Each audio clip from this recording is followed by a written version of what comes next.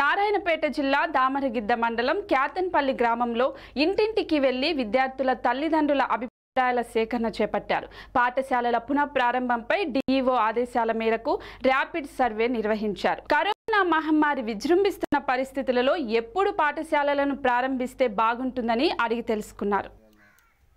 పాఠశాలలు మీకు అడిగి ఇప్పుడు మీ పిల్లలు మా శాలకు వస్తారు కదమ్మా.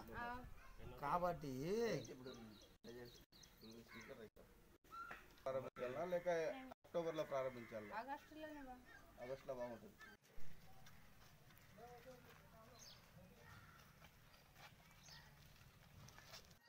ఆగస్టు పదహారు తర్వాత. ఆగస్టు పదహారు. ఆగస్టు పదహారు ముప్పై ఎనిమిది రాష్ట్రములో పాఠశాలలు ఎప్పుడు ప్రారంభిస్తే బాగుంటుందనే విషయంలో విద్యార్థుల తల్లిదండ్రుల అభిప్రాయము సేకరించడానికి rapid survey on reopening of the schools అని విద్యార్థుల తల్లిదండ్రులతో సర్వే అనేది చేయడం జరుగుతుంది.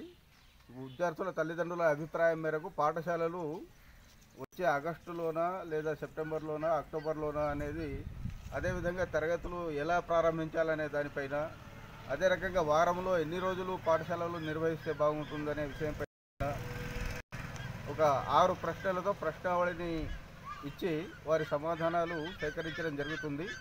విద్యార్థుల తల్లిదండ్రుల యొక్క అభిప్రాయం మేరకు ఈ విధానం ఏ విధంగా పాఠశాలలు ఎప్పుడు ప్రారంభిస్తారనే విషయంలో ప్రభుత్వానికి నివేదిక అందజేయడం జరుగుతుంది.